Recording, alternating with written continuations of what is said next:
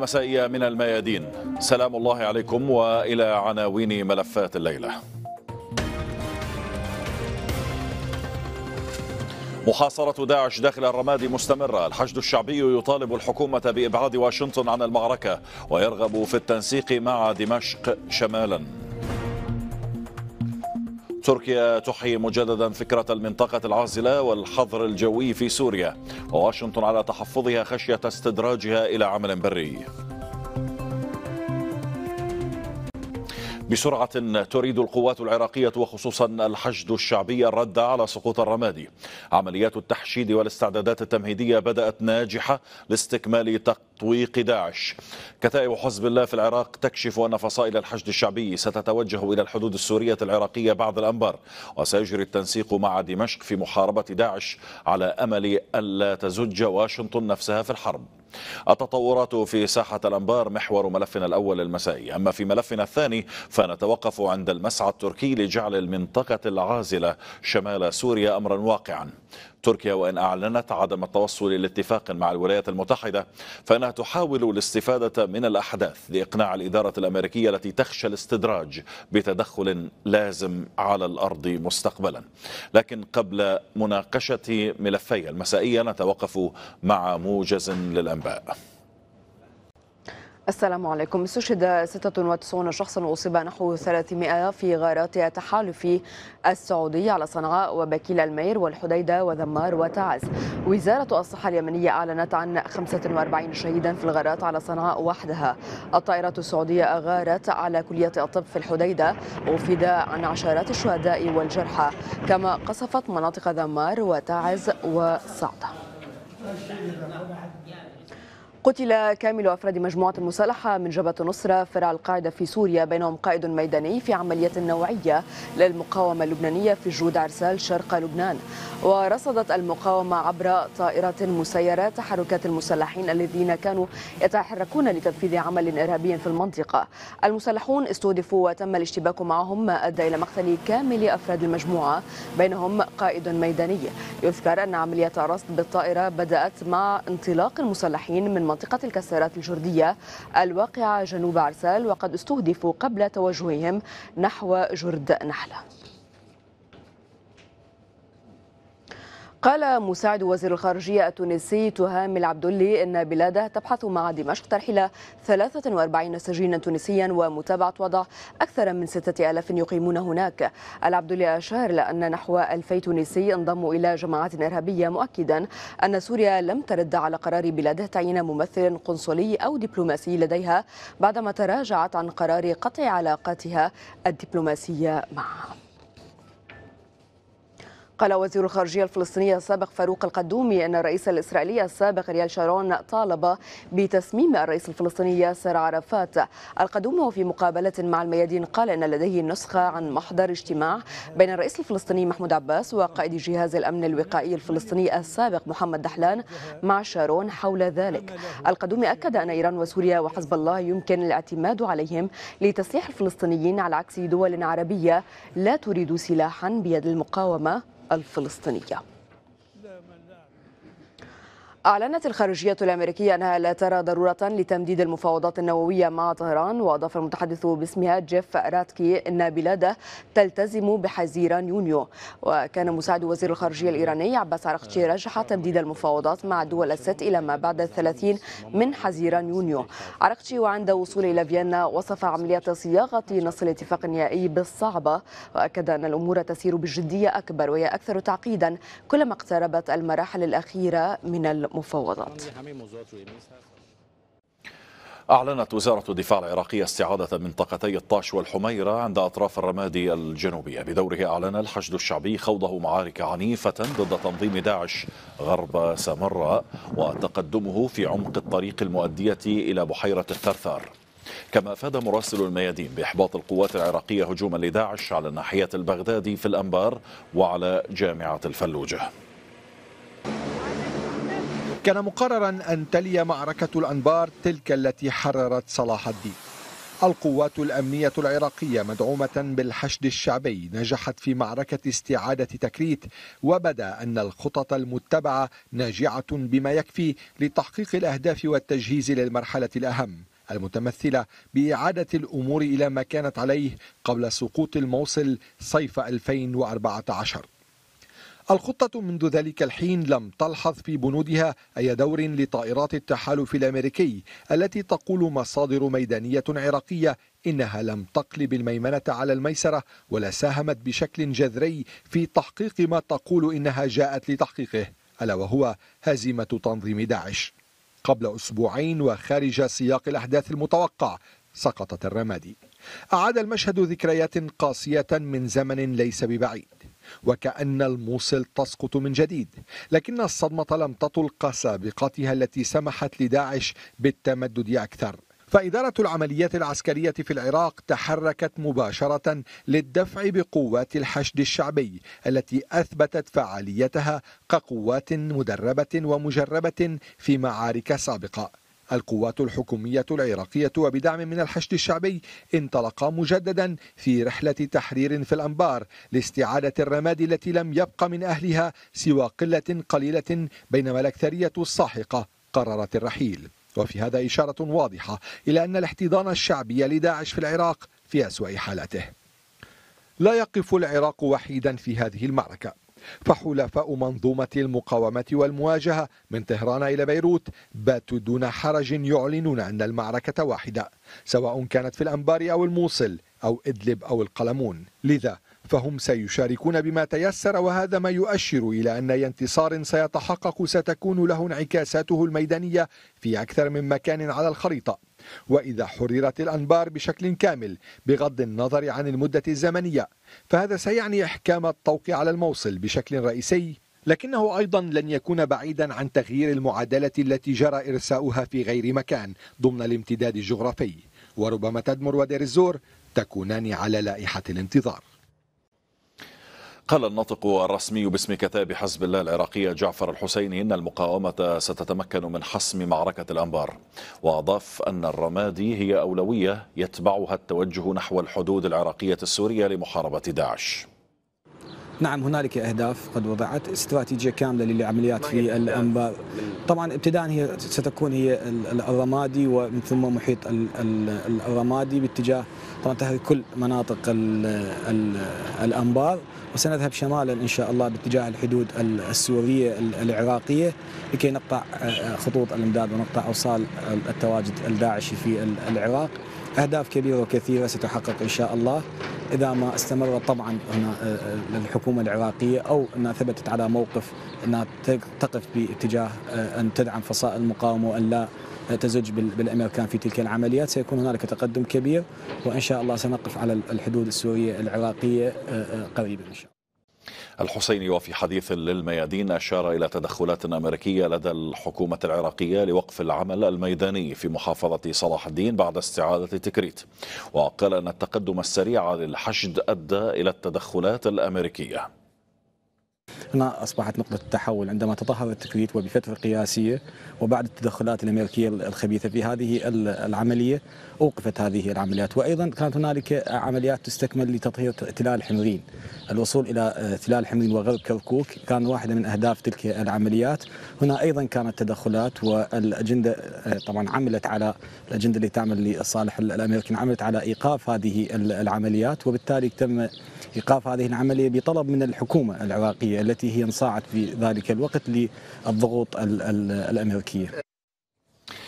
لمناقشة هذا الملف معنا الآن مباشرة من بغداد عضو إعلام هيئة الحشد الشعبي السيد عبد الهادي الدراجي وأيضا معنا من بغداد العضو في دولة القانون النائب السابق الأستاذ كمال الساعدي. أبدأ معك سيد عبد الهادي الدراجي. هل فعلا الحشد الشعبي الآن قادر على تحرير كامل الأنبار؟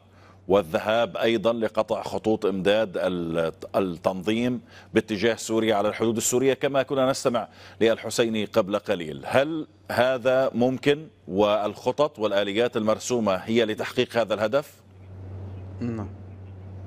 بسم الله الرحمن الرحيم تحية لك حياك الله الكريمة ولجمهورها الكريم وللضيف الكريم الأستاذ كمال الساعدي مما لا شك فيه أن الحشد الشعبي آه، عندما تحرك بفتوى المرجعية الدينية انطلق من هذه الرؤية آه، العقدية المهمة. هذه الرؤية هي حبه وولاؤه إلى العراق وولاؤه لبلد العراق. وكما تعلمون أن الحشد الشعبي يتكون من مكونات عديدة منها الشيعي ومنها السني والكردي والعربي والتركماني والإيزيدي. هذا كله يعطيه آه، عامل قوة واقتدار على أن ينهض تلك المهمة المحفوفة بالنصر. فابتداء من آمرني ثم مرورا بديالة ثم مرورا بجرف النصر ثم معركة صلاح الدين وتحريرها. الحشد الشعبي قادر إن شاء الله على تحقيق النصر وذلك من خلال أبنائه المقاومين الذين قاوموا بالأمس الاحتلال ولقنوه دروسا لن ينساها أبدا. اليوم الشعب, الشعب العراقي ملتف حول هذه القيادة الواعية من أبناء المقاومة للحشد الشعبي. طيب هذا هذا هذا أستاذ عبد الهادي. خطط عسكرية واستراتيجية مهمة. أستاذ عبد الهادي هذا في المعنويات. هذا في هذا في المعنويات هذا في المعنويات نعم. ولكن في الأهداف. في نعم. الأهداف وفي الأمور نعم. العملياتية. اليوم القيادي نعم، في التيار نعم، الصدري السيد نعم، حسين نعم، البصري يقول بأنه هدف العملية الحقيقي هو حماية العاصمة بغداد وتحصينها من داعش وليس السيطرة على الأنبار وتحرير الأنبار بشكل كبير. وتسمية العملية تحرير الأنبار خطأ كبير لأن القوات المهاجمة لا تكفي لتحرير المحافظة ولا حتى ربعها. هكذا يقول السيد حسين البصري القيادي في التيار الصدري. لا لا أنا أنا بالعكس. لا بالعكس أقول أن المعركة ليست معركة بغداد لأن بغداد م- م- محصنة ومؤمنة إن شاء الله. وحتى ال- المحافظات المقدسة أيضا مؤمنة. اليوم أبناء العراق الغيارة انتخوا إلى صلاح الدين وانتخوا إلى أبناء الرماد الذين طالبوا بإشراك الحشد الشعبي. على واقع المعركة ابتداء اليوم من معركة الإسحاق التي جرت وثم أيضا مرورا بالمعارك التي جرت في الرمادي حتى انتهاء بتحرير المناطق حتى انتهوا إلى جامعة الرمادي. هذا كله مؤشر على أن المقصود من هذه العمليات هي الرمادي لأن الرمادي تعتبر فيصلا مهما ومفصلا مهما من مفاصل أبناء المقاومة حتى يقطعوا المدد على آه، الدواعش واجنده الدواعش. استراتيجيا ولوجستيا المعركة بيد أبناء الحشد الشعبي. وبالتالي تعلمون جيدا ليس الحشد الشعبي لوحده وإنما الحشد الشعبي يساند إخوته من الجيش العراقي وأيضا كذلك الشرطة الاتحادية والعشائر السنية الكريمة المنضوية تحت مسمى واضح. الحشد الشعبي. وبالتالي فإن المعركة القادمة المعركة القادمة بأجندتها هي أنه ستؤمن مثل ما تفضل المتحدث باسم كتائب حزب الله أن المعركة الحالية هي معركة لتحرير الرمادي من آه، جيوب داعش القليلة وبالتالي انتهاء بالحدود السورية وسوف تؤمن كل تلك المناطق. طيب، ذلك لأننا. ننطلق من رؤية وهدف. هذه الرؤية كما تعلمون رؤية رؤية واضحة عقدية حب الوطن والهدف هو الانتصار الذي تسمح لي أستاذ عبد الهادي. أن آخذ رأي الأستاذ كمال الساعدي أيضا ولكن من زاوية أخرى أستاذ كمال الساعدي فيما يتعلق بمعارك الأنبار اعترضت الولايات المتحدة على مشاركة الحشد الشعبي آه، بعد آه، تحرير تكريت مباشرة ضغطت على الحكومة العراقية لإبعاد الحشد الشعبي عن قيادة المعارك ثم الآن آه، قبيل معركة الأنبار باركت هذا الدخول للحشد الشعبي. ما هي الظروف من وجهة نظرك أستاذ كمال التي تحدد أو حددت الموقف الأمريكي في كلا الحالتين؟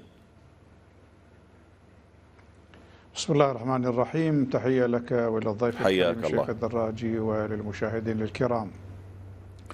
التراجع الأمريكي واضح أسبابه أن ما حدث في الأنبار كان يعتبر آه، تراجع.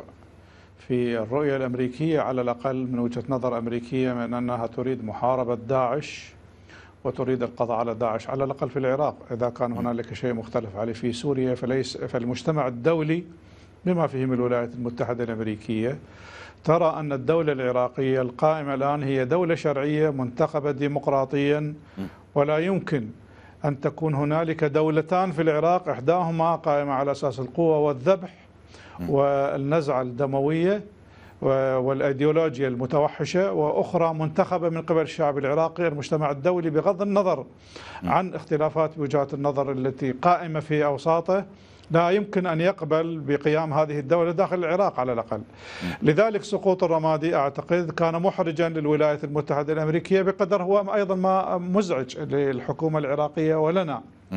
أعتقد أن الحشد الشعبي الآن وبعد ما حد- حدث في الرمادي وبعد ما حدث أيضا ما في صلاح الدين عندما قام الحشد الشعبي بتحرير هذه المحافظة وتسليمها لأهلها. يعني قيل قبل ذلك وهذه نقطة مهمة أرجو أن تسمح لي بتوضيحها. تفضل. قيل قبل تحرير صلاح الدين بأن هنالك سيأتي الشيعة يسيطرون على مناطق السنة وسيفعلون كذا ويفعلون كذا لكن الحشد الشعبي أثبت وطنية ونبلا عاليا عندما حرر هذه المحافظة وهي جزء من العراق وسلمها بيد أهلها. والحكومة الآن الحكومة صلاح الدين تعقد اجتماعاتها في المحافظة. هذا أعطى رسالة إيجابية للحشد الشعبي للعالم. من أن الأنبار أيضا سيقوم الحشد الشعبي بتحريرها وتسليمها لأهلها إن طيب شاء هناك الله. من يتحدث أستاذ كمال. سقوط هناك من نعم. يتحدث عن آه، ما هو أوسع آه، من آه، يعني هذا الإحراج الأمريكي أو حتى الضغط على الحكومة. هناك من يتحدث عن أن معركة الأنبار تعكس تفاهما إيرانيا أمريكيا في العراق. وسقوط الرمادي كان يعكس خلافا أمريكيا إيرانيا في العراق أيضا. هل ترى المسألة يمكن مقاربتها من هذه الناحية؟ أنا لا أعتقد ذلك لا أعتقد أن هنالك تفاهم قد تكون هنالك نقاط التقاء دون أن يقصدوا دون أن يخططوا. آه هذا ممكن جدا لكن أن هنالك تفاهم أمريكي إيراني آه ويجلسون ويتحاورون ويتحدثون أنا أستبعد ذلك. أنا أعتقد أنه هو سقوط المحافظة كشكل إحراج للتصريحات الأمريكية السابقة التي قالت بأننا لن نسمح بسقوط الأنبار وأيضا أن تصريحات الوزير أحد الوزراء أعتقد انه وزير الدفاع أو بايدن عندما قال أن 75% من طلعاتنا كانت تذهب الطائرة وتعود دون أن تحقق أهداف.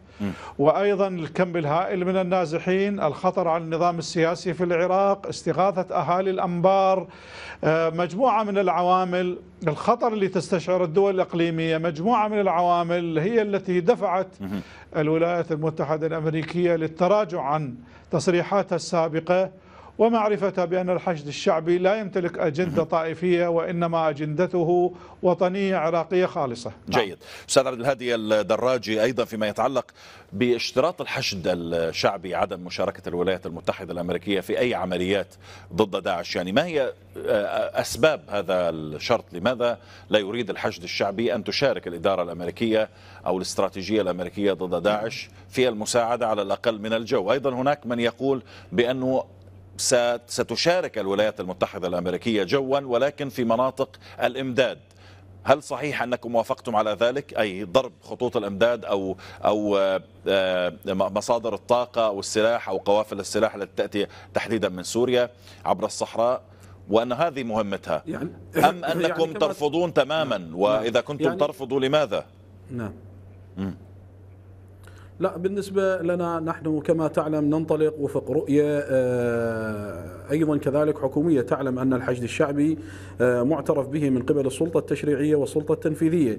ونحن نقدر آه، الظرف الذي تمر به الحكومة العراقية والحكومة العراقية لها تفاهمات دولية. والحشد الشعبي وقيادة الحشد الشعبي وضعت في أجندتها احترام كل ما تتبناه الحكومة. لكن مرة أخرى أرجع إلى دور التحالف الدولي. كما تعلمون أن التحالف الدولي آنذاك عندما صرح بأنه سيساعد العراق على ضرب داعش وضرب أوكار داعش صار أكثر من سبعة أشهر إلى ثمانية أشهر لم تفعل ضربات الاحتلال ولم تفعل ضربات التحالف الدولي أي شيء بداعش. بل استمر نفوذ داعش وسقطت الموصل وسقطت بقية المحافظات الغربية. وبالتالي نحن نعلم أن الأجندة الغربية لها علاقات تحكمها مع داعش لأنه داعش نحن نقول أن لها أجندة خارجية. من ضمن هذه الأجندة الخارجية هي آه، الأجندة الأمريكية. وبالتالي أمريكا تعمل وفق نظرية المؤامرة في الشرق الأوسط. وهذا يدفعنا بالتالي إلى أننا نخشى وعندنا مخاوف من آه، ضربات ال- الاحتلال.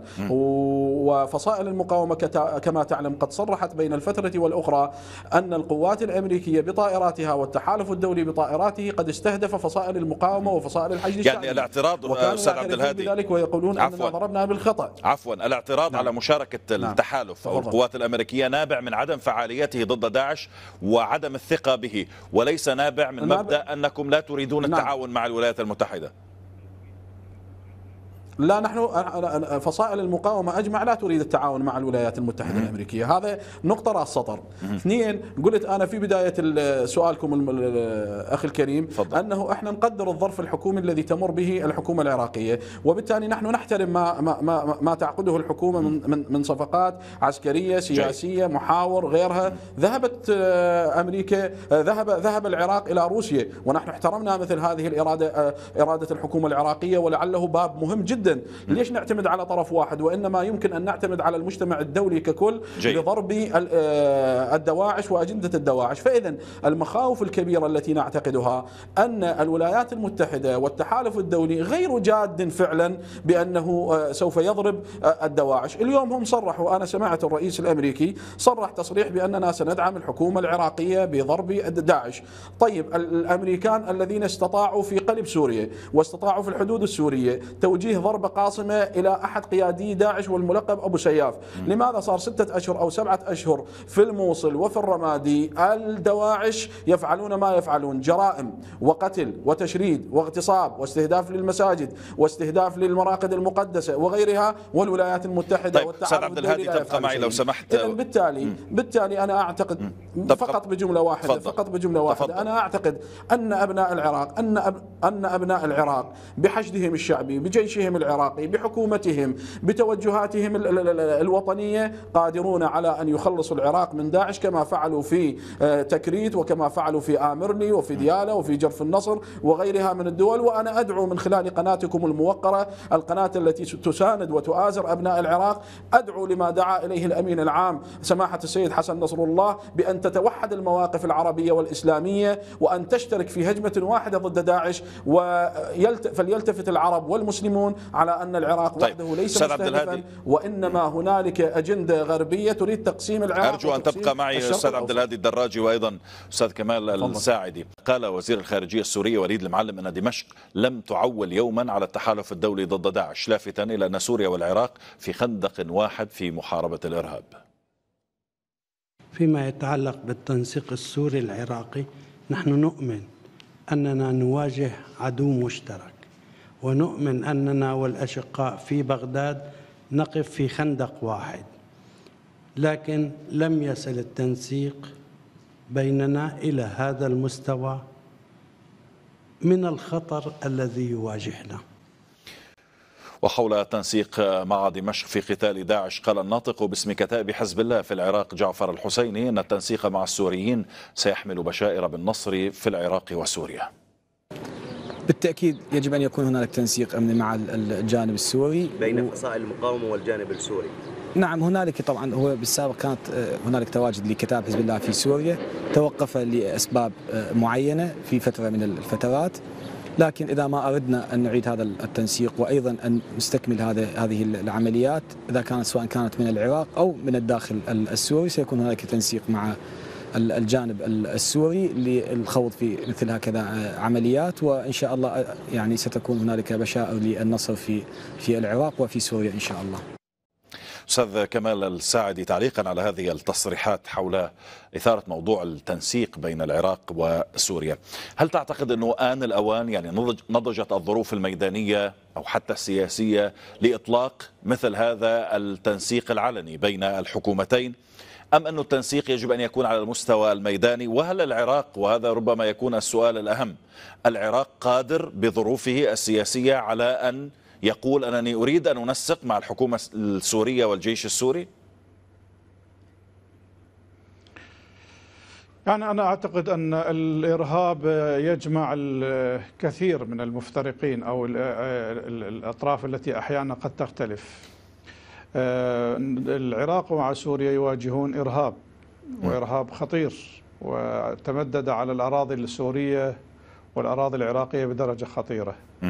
طبعا هذا كسلطات ينبغي أن يكون هنالك تعاون لكنني أتمنى على الإخوة المقاتلين أن لا يفصحوا عن بعض القضايا لأنها قد تكون في غير أوانها بالتصريح عنها قد تفهم بطريقة على عربيا تفهم بطريقة غلط. تفهم بطريقة أن هنالك حلف. شيء ما آه، يحدث.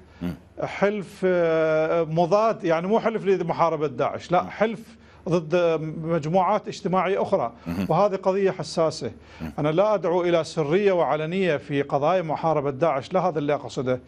لكن أقصد أن الحكومة العراقية هي الطرف الذي يستطيع أن ينسق العمل العسكري على الأقل والاستخباراتي كما ينسق مع الولايات المتحدة الأمريكية لكن هناك سؤال أستاذ إيران كمال يعني في هذه النقطة نعم. يعني ملاحظ ملاحظ فعلا أن هناك منع للتنسيق أو عدم وجود نهائيا للتنسيق بين الدول التي تحارب لديها نفس الهدف يعني محاربة داعش والجماعات التكفيرية، يعني لا تنسيق بين لبنان وسوريا في مسألة آه، الحدود السورية اللبنانية التي تواجد فيها داعش والنصرة، لا تنسيق بين العراق وسوريا وداعش. فتحت الحدود بين الدولتين وتنتقل من هنا إلى هناك وتحارب كلا الحكومتين وكلا الشعبين، هذا ممنوع ومن يمنع ذلك؟ ولماذا يمنع هذا التنسيق؟ أنا شخصيا أعتقد يعني لو كنت في مكان القرار الحكومة العراقية لا يهمني من يعترض لأن أنا حكومة منتخبة. ومهمتي بالدستور أن أحمي الشعب العراقي. أنسق مع أي دولة تساعدني على ضرب داعش وتدمير داعش. سواء اعترضت هاي الدولة أو تلك آه هذا البلد أو ذاك. لأنني لا أقوم بعمل مخالف للقوانين الدولية ولا أسيء للجيران ولا أتعدى على أحد. أنا مهمتي أن أحافظ على بلدي. لذلك ليس عيبا أن تقوم الحكومة العراقية بالتنسيق مع الحكومة السورية لمحاربة داعش. بغض النظر عن مواقف العربية تجاه سوريا لأن هنا القضية الموقف ليس موقف سياسي وإنما هو موقف ميدا- ميداني عسكري ضد عدو. كل الدول العربية الآن تقول أن هذا العدو هو إرهاب وهو مصنف عالميا هو إرهاب.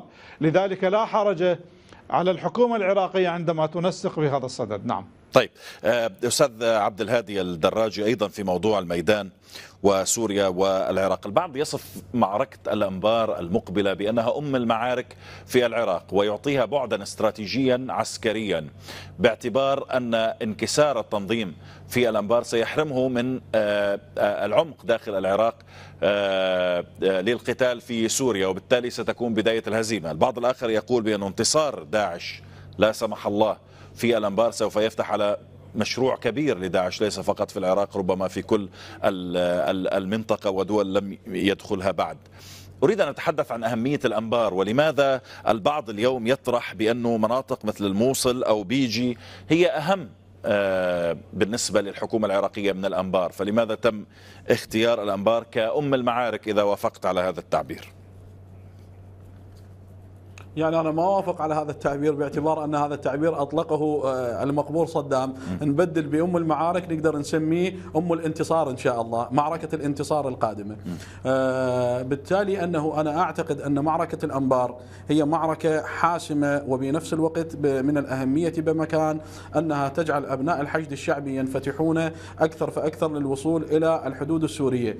آه، نقطة ذكرتها تتعلق أيضا بهذا التحرير القادم إن شاء الله وهي نقطة مهمة وقد اختلف مع الضيف الكريم العزيز وهو أنه لماذا لا يتم التنسيق المواقف بين أبناء الدول العربية والدول الإسلامية كما يتم تنسيق المواقف مع آه، التحالف الدولي لضرب داعش لا أستطيع القول أن اليوم المنطقة العربية والمنطقة الإسلامية بما فيها العراق بما فيها المناطق الغربية تمر بخطر داهم وهذا الخطر يعني التنسيق التنسيق أستاذ عبد الهادي يشمل.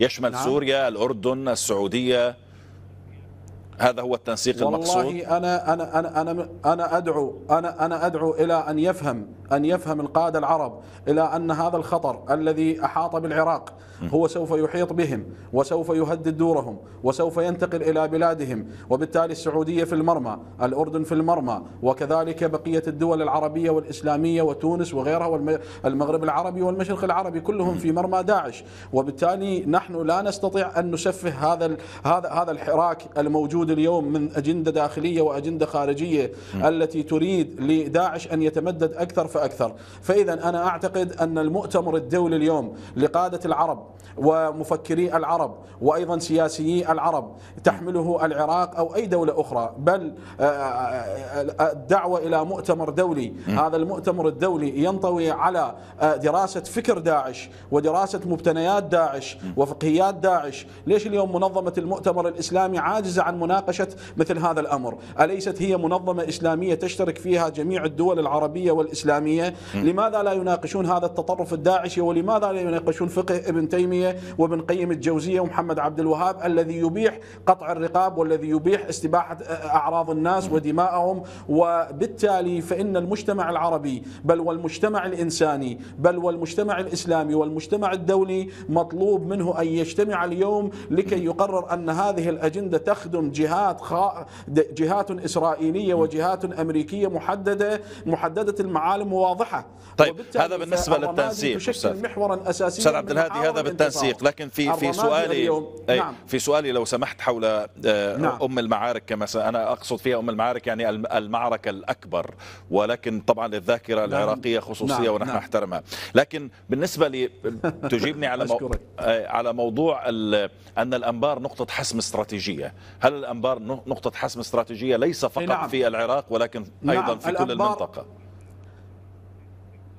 الأنبار وأبناء الحشد الشعبي أبناء المقاومة وضعوا في أجندتهم أن معركة الرمادي القادمة وعندما أعلنوا ساعة الصفر هي بالفعل معركة الحسم حتى مع وجود تحرير الموصل لماذا؟ لأن الأنبار تشكل محورا أساسيا من محاور آه، انطلاق المظاهرات الطائفية كما تعلمون آنذاك وقد شكل منها سياسيين داعشيين لا زالوا يركزون ويذهبون إلى الولايات المتحدة الأمريكية يذهبون إلى بلدان عربية وإسلامية ليستجدوا المال وذلك لكي يأتوا بداعش. الرمادي اليوم والأنبار اليوم وإن كانت تمثل مساحة واسعة لكن الحشد الشعبي والجيش العراقي والحكومة العراقية وضعت في أجندتها أن الانتصار عندما يتحقق ستكسر ستكسر آه، شوكة داعش. وبالتالي الأنباء من الأنبار إلى القلمون سيحقق النصر إن شاء الله وستنتهي هذه الفتنة المسماة بداعش لأنها عندي وعند المقاتلين والأشاوس والأبطال من الجيش العراقي من الشرطة من أبناء الحشد الشعبي من المقاومين أن داعش هي أوهن من بيت العنكبوت. طيب آه، أستاذ كمال آه، الساعدي فيما يتعلق بوضع الحشد الشعبي أيضا موضوع العشائر وامتداده بالمطالبات الأمريكية بتسليح هذه العشائر وإضفاء نوع من الشرعية أو التنوع كما تقول الولايات المتحدة على هوية من يقاتل داعش في في العراق، هل هذه المعادلة الموجودة الآن في معركة الأنبار قد آه، آه، ثبتت؟ آه، يعني رسخت. هل هذه المعادلة الدائمة التي لا نقاش فيها أم عندما تبدأ المعركة أو حتى تنتهي معركة الرمادي على الأقل أو الأنبار سيعود الجدل حول هذه الأدوار من جديد؟ أنا أعتقد أن تحرير الأنبار بالحشد الشعبي المتنوع وأنا ميال جدا أن يكون مع الحشد الشعبي من مختلف فئات الشعب العراقي. وربما إن شاء الله في الموصل سيكون التنوع أكبر بسبب التنوع الموجود في الموصل. أنتم تعرفون أن منطقة الأنبار تحديدا هي من لون مذهبي واحد. أما الموصل ففيها تلوينات قومية ومذهبية أكثر. إذا انطلقنا من الأنبار بحشد شعبي فيه يقف الشيعة والسنة كتفا إلى كتف وبروح واحدة. سيكون انتصارا هائلا ليس فقط على الصعيد العسكري وإنما على صعيد. تخريب نظرية تقسيم العراق تخريب نظرية أن العراق مقسم طائفيا وأن هنالك احتراب طائفي. تخريب نظرية أن داعش يمتلك قدرة هائلة على التوسع والامتداد تخريب كل الرؤى السياسية التي طرحها دعاة الطائفية وتدمير لسمعتهم وسيكون هنالك آثار سياسية وعسكرية واجتماعية. وأضع خطين أو ثلاثة خطوط على كلمة اجتماعية تحتها سيكون له آثار كبرى. والأثر الآخر أيضا لتحرير الأنبار أن داعش سوف تهزم نفسيا هزيمة كبرى ولن تستطيع الصمود في الموصل نعم. أكثر مما صمدت في الماضي لذلك أعتقد أن الحشد الشعبي واعي لهذه المعادلة وإذا شارك وأنا على أحد معلوماتي سيشارك بعض أبناء الأنبار في الحشد الشعبي سيكون هذا انتصارا جيد. اجتماعيا وسياسيا كبيرا شكرا نعم. جزيلا لك أستاذ كمال الساعدي العضو في ائتلاف. دولة القانون كنت معنا مباشرة من بغداد وأيضا من بغداد كل الشكر للأستاذ عبد الهادي الدراجي عضو إعلام هيئة الحشد الشعبي أعلن الرئيس التركي رجب طيب أردوغان أن أنقرة وواشنطن لم تتمكنا حتى الآن من التوصل إلى اتفاق حول حظر جوي وإنشاء منطقة عازلة في سوريا. وبحسب أردوغان فإن بلاده اتفقت مع السعودية وقطر على ضرورة إنشاء مثل منطقتي الحظر الجوي والعزل شمال سوريا. الرئيس التركي لفت إلى أنه رغم وجود الخلافات بين أنقرة وواشنطن فقد تم التوقيع على الاتفاقية مع واشنطن لتسليح وتدريب المسلحين. رد وزير الخارجية السوري وليد المعلم على دعوة نظيره التركي الطائرات الأمريكية إلى حماية المعسكرات المخصصة لتدريب المعارضة. المعلم حذر من أن أي خرق لطائرات غير سورية للأجواء عدوان يستدعي الرد. موقف المعلم جاء في مؤتمر صحفي مشترك مع نظيره الأرمني في دمشق. تركيا ترتكب أفعال عدائية في سوريا أسوأ بكثير من هذا التصريح. هو يعلم أن استخدام الأجواء السورية من قبل طائرات غير سورية هو عدوان موصوف وبالتالي من حق الجمهورية العربية السورية بما تملكه من إمكانيات التصدي لهذا العدوان. لكن الشيء الجيد في هذا التصريح أنه اعتراف تركي بنية العدوان على سوريا. الحكم التركي الذي يرى الفرصة متاحة للتمدد في سوريا يحاول تسريع الخطى نحو ساعة الصفر المأمولة. لكن تركيا الأطلسية تتحرك على إيقاع الاستراتيجية الأمريكية. قاسم عز الدين. على الرغم من إلحاح الصحفيين لم يوضح وزير الخارجية التركي معنى الاتفاق المبدئي مع واشنطن على الدعم الجوي في سوريا. لكنه أجاب لا معنى لتدريب المعارضة من دون غطاء جوي في مواجهة داعش. الحكم التركي الذي طال انتظاره المنطقة الآمنة ربما يرى أن الأمنية باتت في متناول اليد بعد التفاهم مع السعودية ومكاسب جيش الفتح وداعش في الشمال السوري. في هذا السبيل تتوالى الخطوات التركية للإشارة إلى حضورها المباشر في الميدان كالزيارة الرمزية التي قام بها رئيس الوزراء إلى ضريح سليمان شاه أو الإعلان عن إسقاط مروحية سورية في معرض إسقاط طائرة استطلاع صغيرة من دون طيار. لكن الإدارة الأمريكية التي تجاهلت ما سماه مولود جاويش أوغلو اتفاقا مبدئيا مع واشنطن يبدو أنها لم تغير معارضتها للمنطقة الآمنة والحماية الجوية بحسب تأكيد أردوغان في مقابلة تلفزيونية. في هذا الأمر يرى خبراء أمنيون في أمريكا أن البيت الأبيض يخشى الانجرار إلى ما يتأباه من تدخل عسكري على الأرض دفاعا عن تورط بلد أطلسي إذا دارت الأيام على غير ما تشتهي أنقرة. بعض هؤلاء الخبراء يذهب إلى التحذير من رد روسي على توسع تركيا الأطلسية في سوريا سواء عبر دمشق كما جرى في إسقاط الطائرة الحربية التركية في البحر أو حتى في توسيع الاحتكاك بين الكرملين والبيت الأبيض. بيد أن الحكم التركي الذي ذهب بعيدا في المراهنة على سقوط سوريا يبدو أنه يعول على التمدد في المنطقة الآمنة مدخلا لاستعادة نفوذ في المنطقة كان متاحا بخيارات سياسية أخرى. الرئيس التركي يتوقع في مجالسه السياسية أن الصراع اليوم ليس على تقسيم سوريا بل هو صراع على حدود الفيدراليات السورية. لكن أردوغان توقع سقوط النظام في أوائل أيام الأزمة. لمناقشة هذا الملف معي هنا في الاستوديو الخبير في الشؤون التركية الدكتور محمد نور الدين أسعد الله مساءك دكتور. أهلا وسهلا. وعندما يقول وزير الخارجية التركية قبل يومين أننا اتفقنا مع الولايات المتحدة الأمريكية على منطقة حظر طيران و الكثير من ينقل أو كثير من وكالات الأنباء نقلت هذا الخبر. بعد ذلك يقول اليوم الرئيس التركي بأننا لم نتفق مع الولايات المتحدة. بدا وكأن الرئيس التركي يكذب وزير خارجيته أم أن هناك لبس في تصريح وزير الخارجية التركية؟ آه، لا أعتقد أنه هذا الموضوع ليس جديدا. يعني دائما عندما آه، تحاول تركيا أن تحصل على شيء من الولايات المتحدة الأمريكية فإنها تطرح موضوع المنطقة العازلة. مسألة أن آه، آه، الأتراك الآن يريدون دعم عسكري جوي للمقاتلين المعارضة في سوريا. هذا يعني بشكل غير مباشر أن يصلوا إلى هدف نهائي وهو إقامة منطقة عازلة وبالتالي منطقة حظر آه، طيران أعتقد عندما صرح مولود شاووش أغلو بأن هناك اتفاق من حيث المبدأ مع واشنطن حول هذا الأمر الأمريكيون نفوا أن يكون حصل هذا الشيء.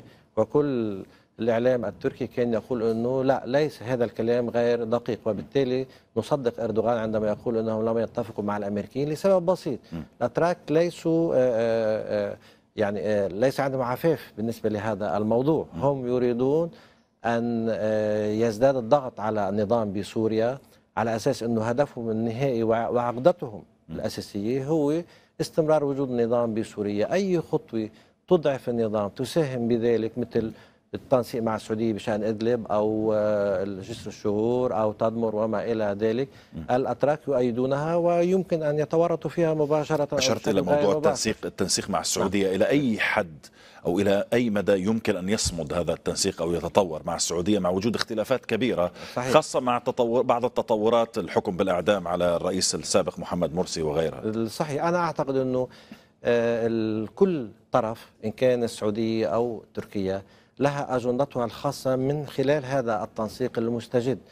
بالأساس هو التنسيق قائم منذ بدء الأزمة في سوريا. صحيح. وحين كان النظام في أضعف مراحله وحين كانت المعارضة ومن وراءها من قوى إقليمية ودولية في أقوى مراحلهم لم يستطيعوا أن يحققوا إنجازات ميدانية. طبعا الظروف هنا الآن مختلفة عن الظروف آه، قبل ولا يجوز إسقاط آه، نتائج الحراك الحالي على النتائج التي حصلت في السابق. لكن أنا أعتقد أنه الهدف السعودي من التنسيق مع تركيا في سوريا يختلف عن الهدف التركي من هذا التنسيق بحيث أنه السعودية هذا التنسيق ظهر مع بدء الحرب على اليمن أو قبل قليل يعني بهذا السياق. السعودية من خلال آه، المأزق التي وجدت نفسها فيه في اليمن تحاول تحقيق إنجاز ما آه، يستهدف ولو بشكل غير مباشر إيران. في وهذا يمكن أن يتم في سوريا. ولا مانع لهذا السعودية أن يتم تحقيق مثل هذا الهدف عبر الأداء عبر الوسيلة التركية. طيب. الأتراك في هذا المجال. ما دام هذا الهدف يضعف النظام فهم ليس عندهم أي مانع. وبالتالي الأهداف كل طرف هي مختلفة. وبالتالي هذا التنسيق أنا بتقديري هو تنسيق ظرفي موضوعي. قد آه، ينفك وقد آه، ينتهي طب إلى, إلى, أي حد. قادرة دكتور محمد نعم. تركيا أن تنخرط بشكل مباشر وليس فقط عبر وكلاء آه، يعني دعم ما يسمى جيش الفتح أو النصرة أو غيرها أو اتهام تركيا بدعم داعش أيضا ولكن آه، الانخراط بشكل مباشر مع يعني مع العلم أن تركيا هي عضو في الأطلسي وبالتالي هذا قد يغير قواعد الاشتباك بالمنطقة كلها أو بالعالم كله حتى مع الكرملين هل هذا هذا نقطة قوة بالنسبة لتركيا أم نقطة ضعف يكبلها بالانخراط هناك مباشرة في الأزمة هناك السورية تباينات بين آه، العديد من القوى الإقليمية والرب الرب العائلة الأمريكي إن كان السعودية أو تركيا. وبالتالي كل آه، آه، قوة من هذه القوى الإقليمية تحاول أن تتحرك بهامش معين من أجل الضغط على الولايات المتحدة الأمريكية حتى لا تكون مثلا أي تسوية إقليمية خصوصا بالملف النووي الإيراني على حساب هذه ال- القوى بالنسبة لتركيا تحديدا وكان جزء من الإيجابي فيما تفضلت آه، به أنه تركيا في النهاية ممكن أن لها مشروعها الخاص الذي يمكن تريد أن تحققه وهو المشروع العثماني في المنطقة. ويمكن أن تتحرك ببعض الهوامش المتاحة لها. لكن في عند وصول الأمر إلى قرارات استراتيجية كبيرة يمكن أن تشكل احتكاك أو صدام عسكري مباشر مع إيران أو مع روسيا في المنطقة. ومن هذه الأمور تأمين دفاع آه، أو غطاء جوي أو طائرات للمعارضة أو إقامة منطقة عازلة أو منطقة حظر طيران. مثل هذه الخطوة لو كانت تركيا تستطيع لوحدها أن تنفذها منذ بدء الأزمة السورية حتى الآن لما ترددت في ذلك. لكن في النهاية مهما بلغت حرية الحركة التركية هي في النهاية جزء من حلف شمال الأطلسي هي في النهاية جزء من القرار المنظومة الغربية بزعامة الولايات المتحدة الأمريكية.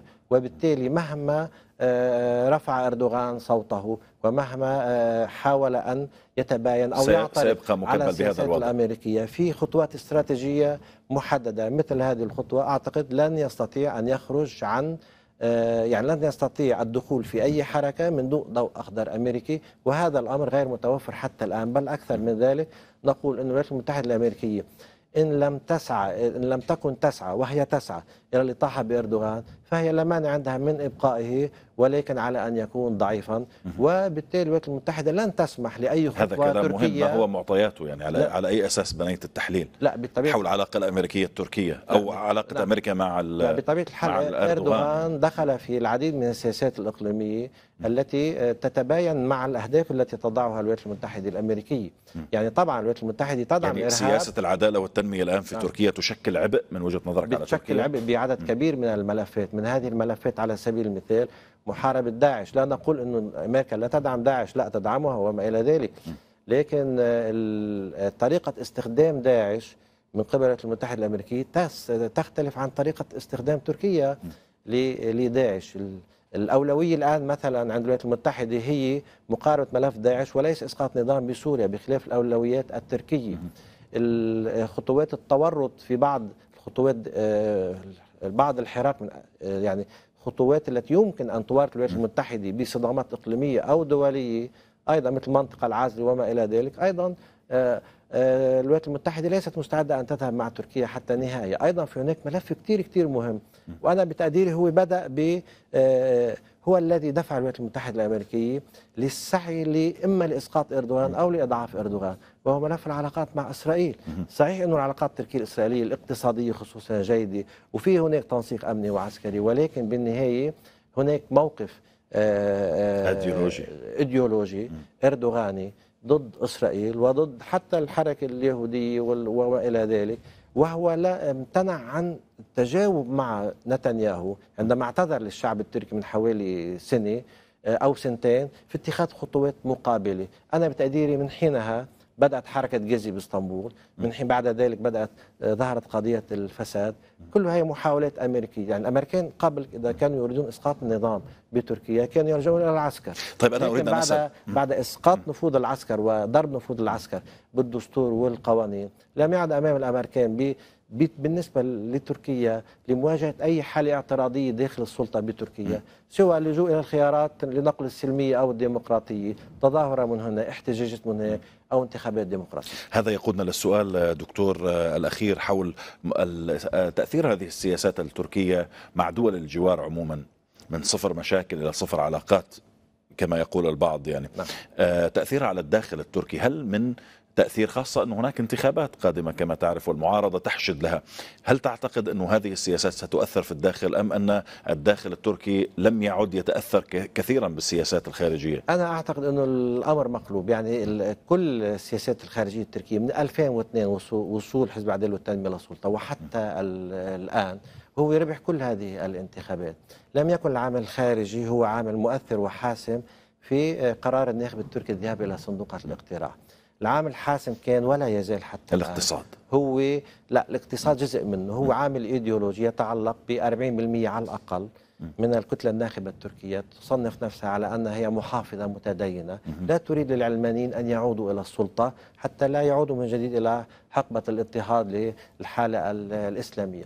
هذه الكتلة تصب bloc واحد كما يقال لحزب العدالة والتنمية بمعزل عن سياسة أردوغان الخارجية هم هناك اعتراض من قبل هذه الفئة ومن داخل حزب العدالة والتنمية على سياسة تركيا في سوريا أو في مصر وما إلى ذلك.